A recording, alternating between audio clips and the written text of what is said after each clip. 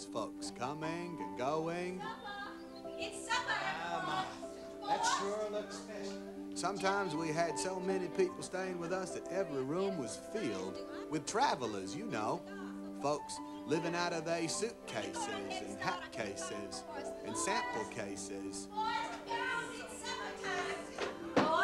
One time, a young man was staying with us, and he had him a guitar case.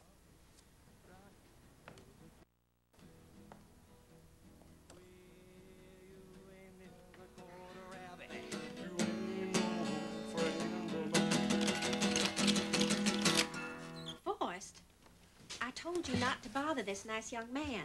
Oh, no, that's all right, man. I, I was just showing him a thing or two on the guitar here.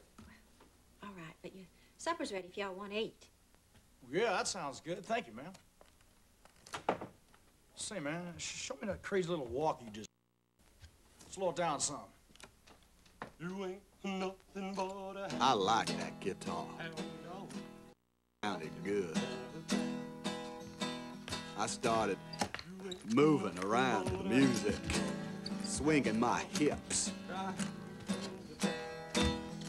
This one night, me and Mama was out shopping, and we walked right by Benson's Furniture and Appliance store. And guess what? You ain't nothing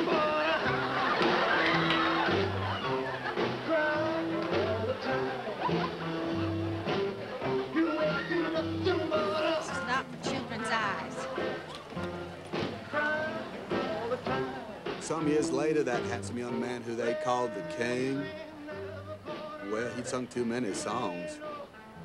Had himself a heart attack or something. Must be hard being a king.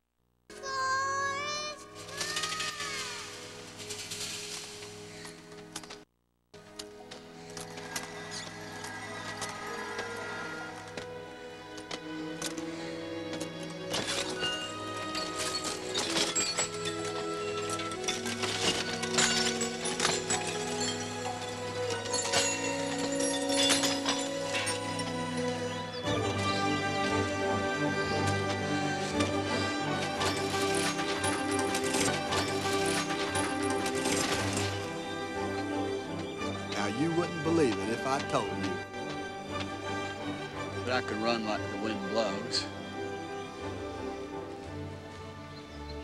From that day on, if I was going somewhere, I was running.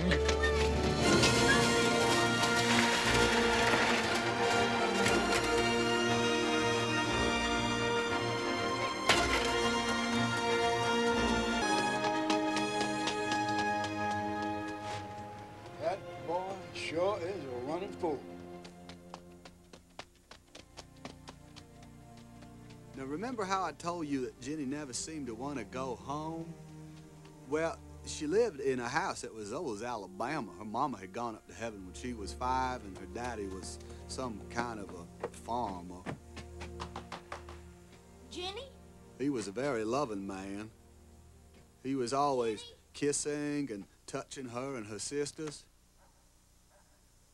And then this one time, Jenny wasn't on the bus to go to school. Jenny, why'd you come to school today? Shh. Daddy's taking a nap. Come on.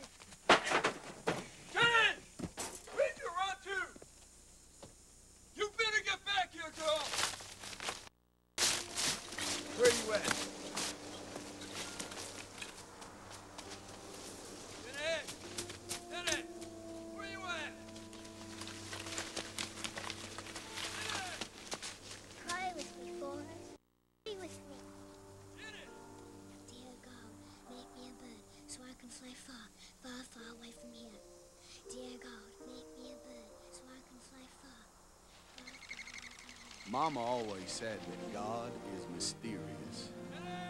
He didn't turn Jenny into a bird that day. Instead, he had the police say Jenny didn't have to stay in that house no more. All the way up through high school, Hey, stupid! Quit it! Run, Forrest, run! Hey! Did you hear me,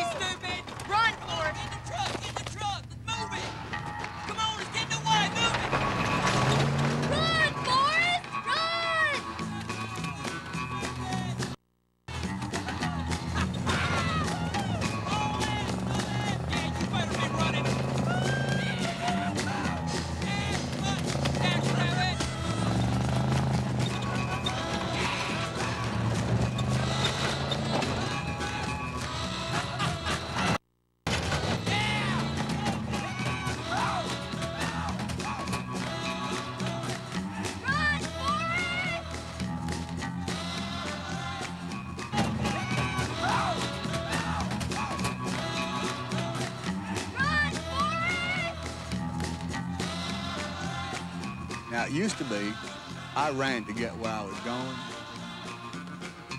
I never thought it would take me anywhere.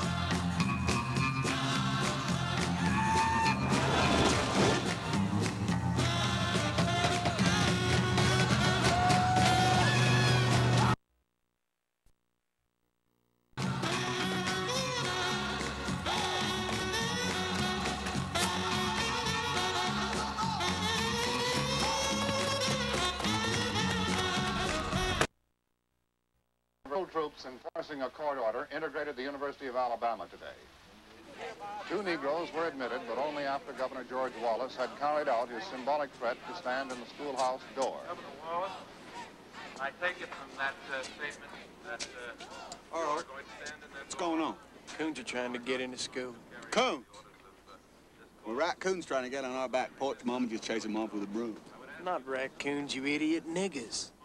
And they want to go to school with us. With us? They do?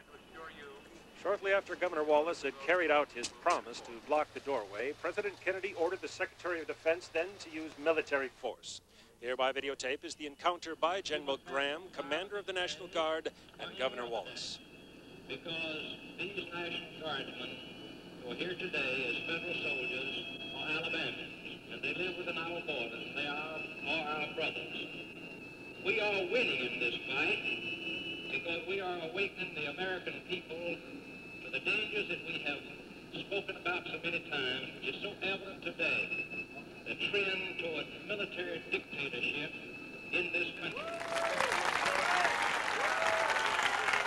And so at day's end, the University of Alabama in Tuscaloosa had been desegregated, and students Jimmy Hood and Vivian Malone had been signed up for summer classes.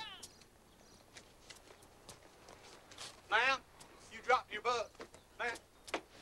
Governor Wallace did what he promised to do. By being on the Tuscaloosa campus, he kept the mob from gathering and prevented wasn't violence. that Gump? Nah, that couldn't be. Sure as hell was. Good idea and ran for president. But somebody thought that it wasn't. On the All-America team, where you get to meet the President of the United States. President Kennedy met with the Collegiate All-American football team at the Oval Office today. Now, the really good thing about meeting the President of the United States is the food. They put you in this little room with just about anything you want to eat or drink. And since number one, I wasn't hungry but thirsty, and number two, they was free, I must have drank me about 15 Dr. Peppers. Congratulations. How does it feel to be an All-American? It's an honor, sir.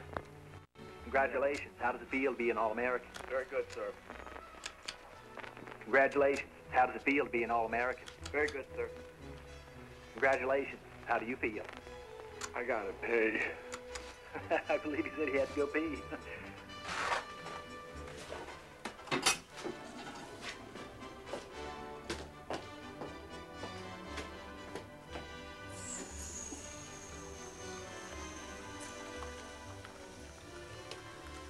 Sometime later, for no particular reason, somebody shot that nice young president when he was riding in his car.